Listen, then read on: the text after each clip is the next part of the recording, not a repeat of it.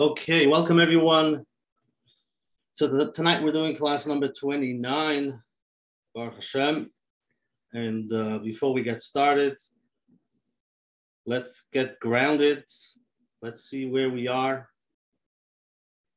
Our moods, our thoughts, where we're coming from. What did your day look like? Are you driving in the car? Just to be aware, where are you? And then we always go inwards. How are you feeling? Your body, any sensations, any stress, anything that comes up. Just to become aware, your shoulders, maybe your cheeks,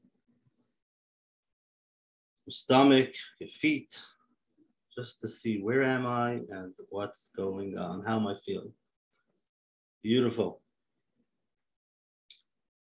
You can put into the chat, let me know if you're in a place of negativity, that's an N, or positivity, that's a P, or maybe two N's for neutral.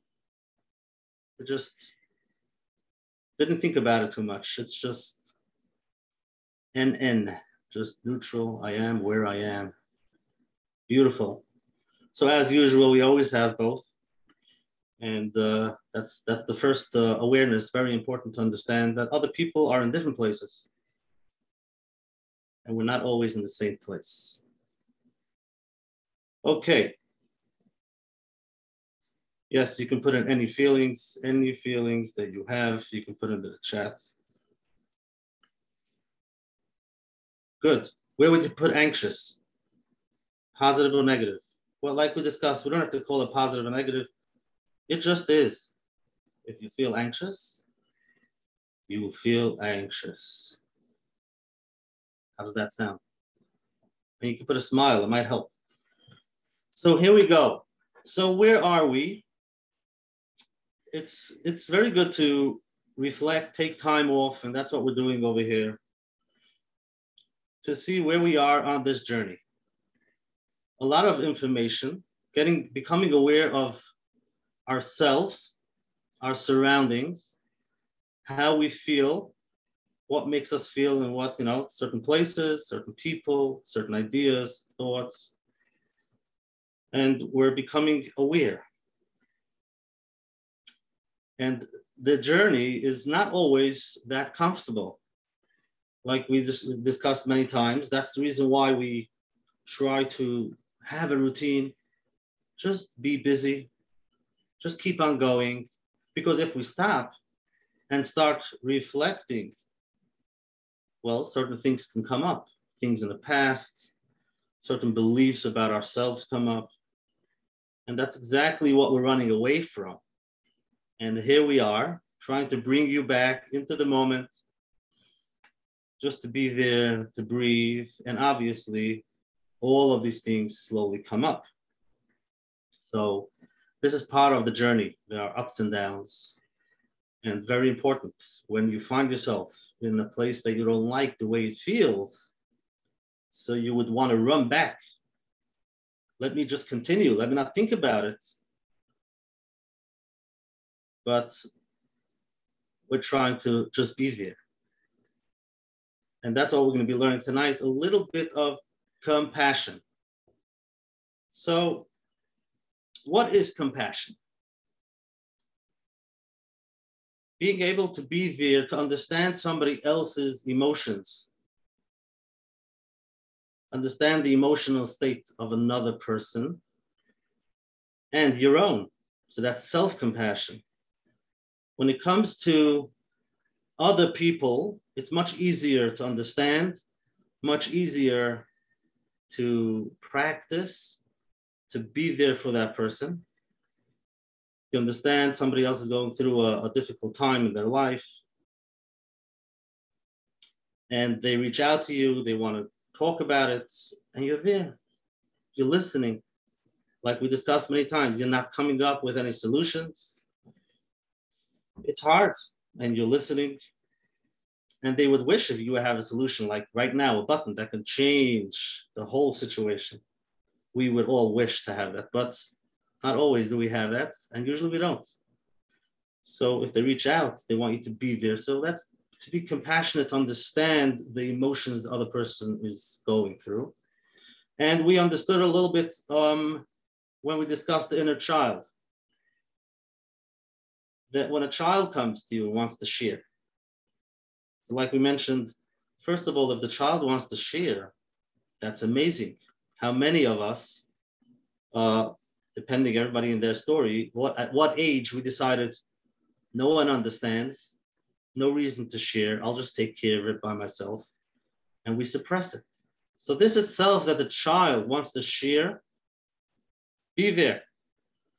And don't come up with solutions, even though we want to give a solution right away because we're very solution oriented.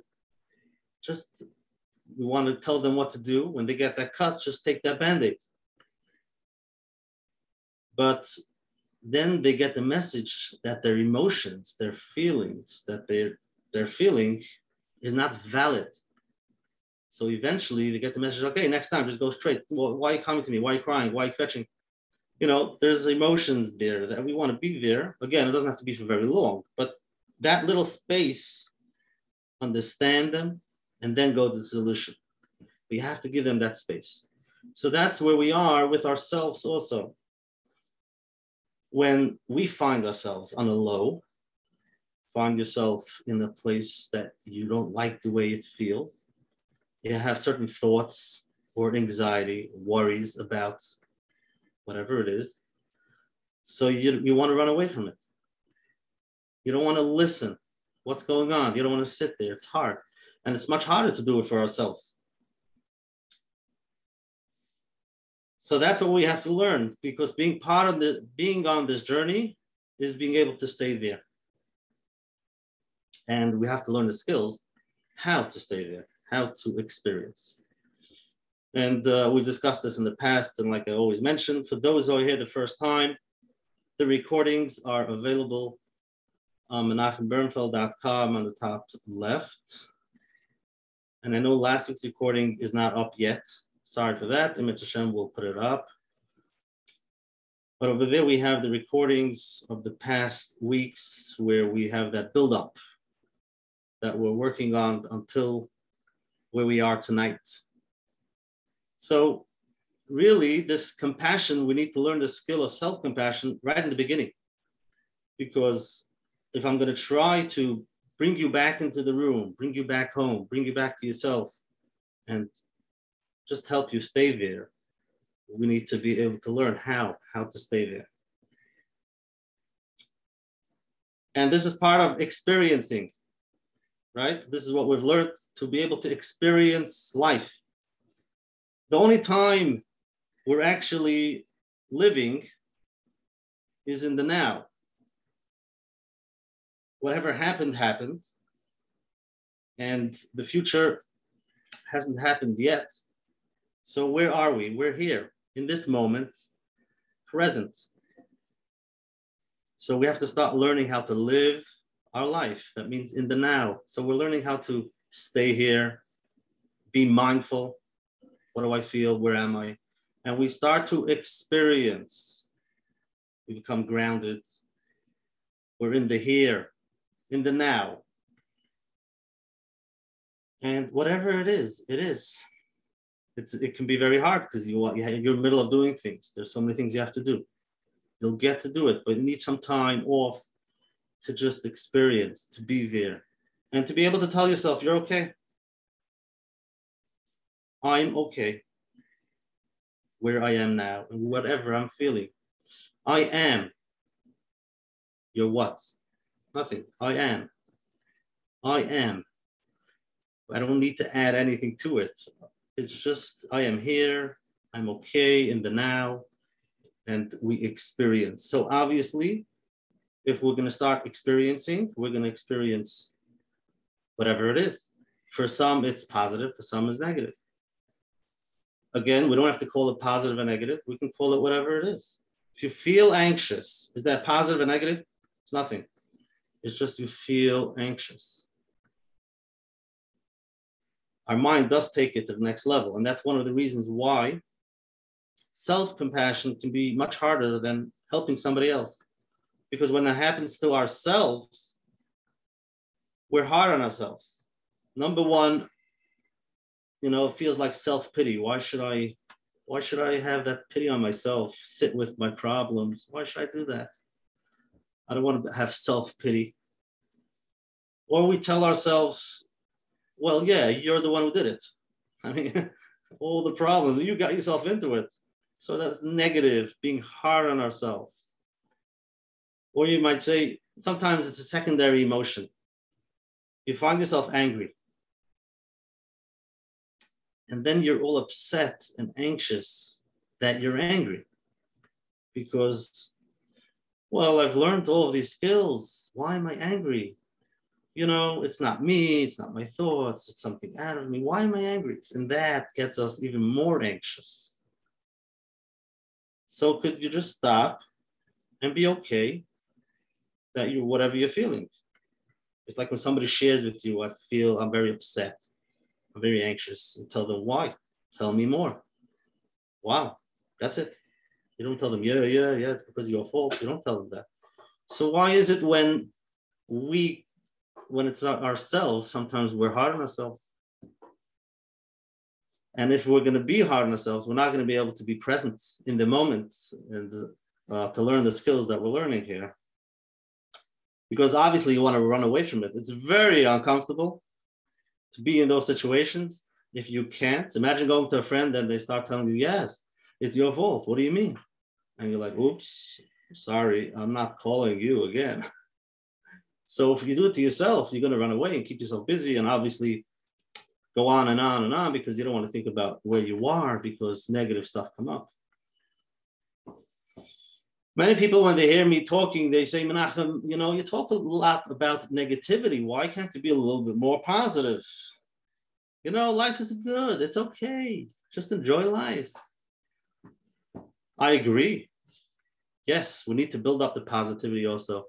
But I'm a, a real believer in learning how to stay with whatever comes up. And many times it's negative and very negative. So we're learning the skills to be able to stay there with ourselves as a good friend. So we can stay wherever it is, whatever comes up, whatever we feel. And like we discussed, emotions, emotions don't last for too long. They say they say a study says that it could last between 60 seconds and 90 seconds, but sometimes it does last a little bit longer. Again, everybody has their experiences, but the idea is it's only if you can if you could focus on it. Many people would say, why are you focusing on the negativity? Right? So they probably mean walking around talking about the negative, feeling negative all day. So that's not what we're discussing. What we're discussing is when you do feel something come up, some negative, Instead of saying, it's fine, it's fine, it doesn't bother me, being able to sit down, take a few minutes, take a deep breath, and yes, we are going to focus on that negative, what's coming up. And the reason why we're going to do that is so it can we can let it go. The only way we'll be able to let it go, those negative emotions, is if we can sit with it. Because if you suppress it, you know what happens? You put it into that box and you push it in, you lock it, and you hope it doesn't come out, but doesn't last. Eventually, it comes out. Eventually, the negativity comes out.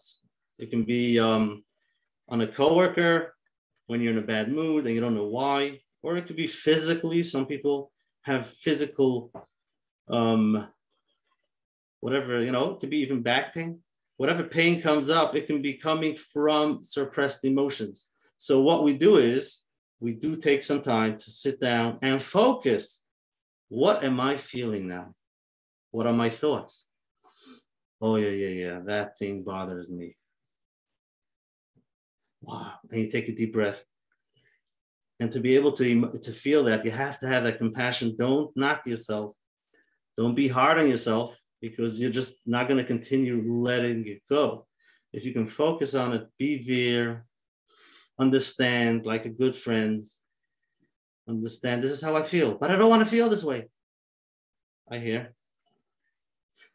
I'm working on this for such a long time. When is this going to go already? I can't. I can't. I'm so upset. Wow, I hear. And many people are not used to it. They're like, okay, okay, fine, okay, no, no, no. Hey, hey, hey, relax, take a deep breath. Learn to be able to sit there, and that's how we release the emotions. That's how we can let it go versus not thinking about it, pushing it away, staying busy, keeping on on the rat race because I don't want to focus on the negativity.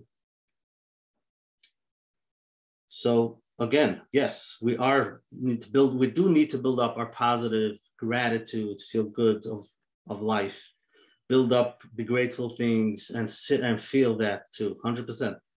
100%, I'm not denying that. But to be able to walk around and say, no, I'm, I'm always positive, I'm always positive, I'm always positive, because there are certain things in your life that you don't want to focus on, that's suppressing. And you're, you're, you're pushing it down, locking it up, hoping it's not going to come out. But the way to release it is by letting it in, like the waves. Let it in and let it go. Let it in and let it go. And if you're on this journey, sometimes it could be hard. You find yourself in a in a low. There's highs and lows. Highs and lows, and let the low come in. Welcome it, embrace it, be there. And we can only do that with self compassion, just like a friend. Just the same way you would listen to a friend, be able to listen to yourself. Sometimes it's easier to write it down. Just write your thoughts, what's going on, what's bothering me, but just be there and experience. This is what we're discussing to experience. So this is a little bit um, compassion. I would ask you, um, what are the thoughts that come up when you, find yourself that you made a mistake or you are in a bad mood? If you can share in the chat, I would appreciate it. When you find yourself anxious in a bad mood or things are not working out, what are those thoughts that come up when you find yourself angry, upset,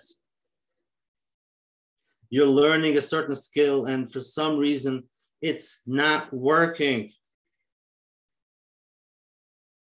What, what, what comes up? What are the thoughts? How do you talk to yourself?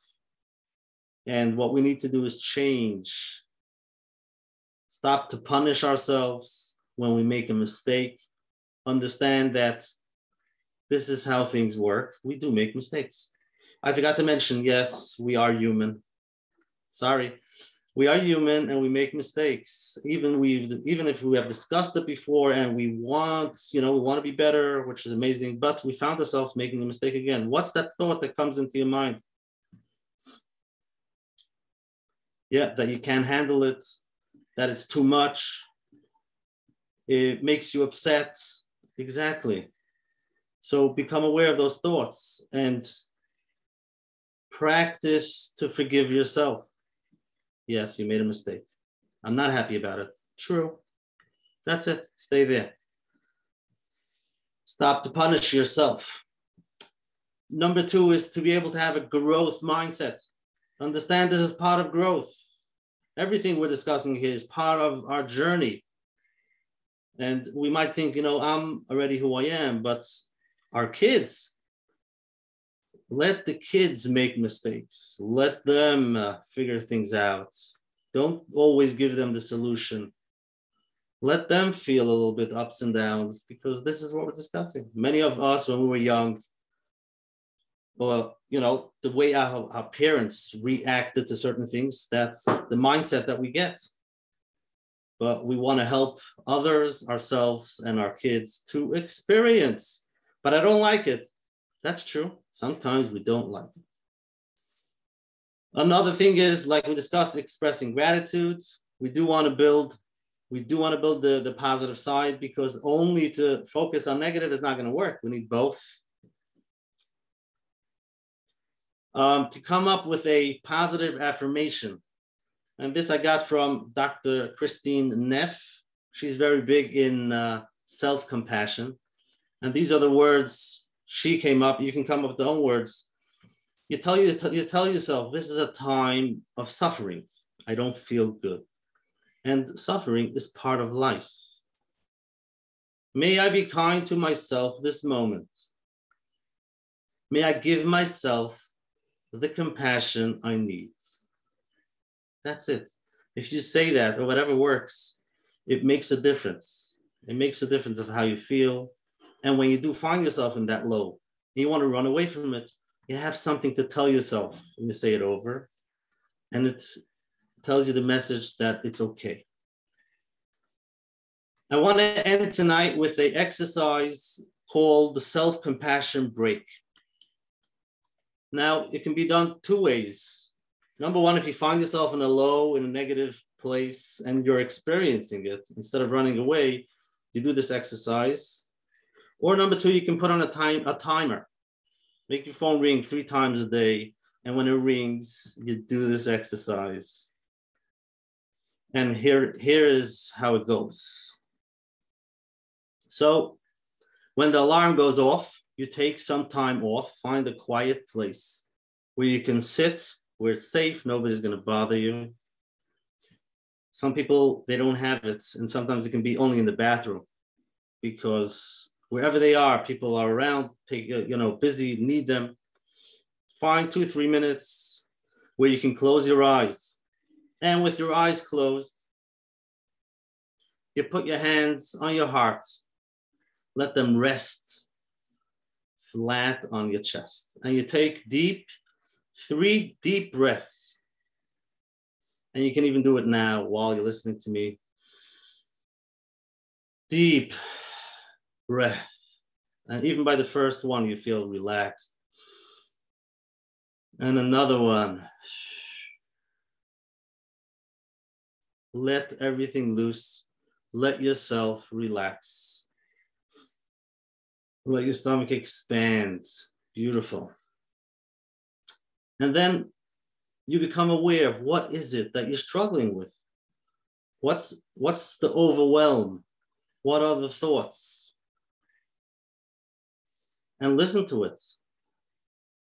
And then you can offer yourself just some words of support, like you would tell a friend, a little bit of compassion, that you would tell somebody that you love and tell it to yourself as if you're talking to a friend.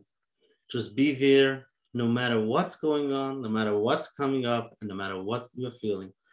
Just take a deep breath. You can sit and just keep up with the breathing.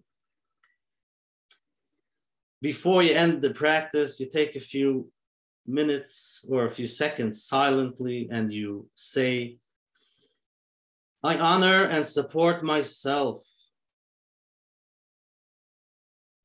I love and accept myself. I practice peace and patience.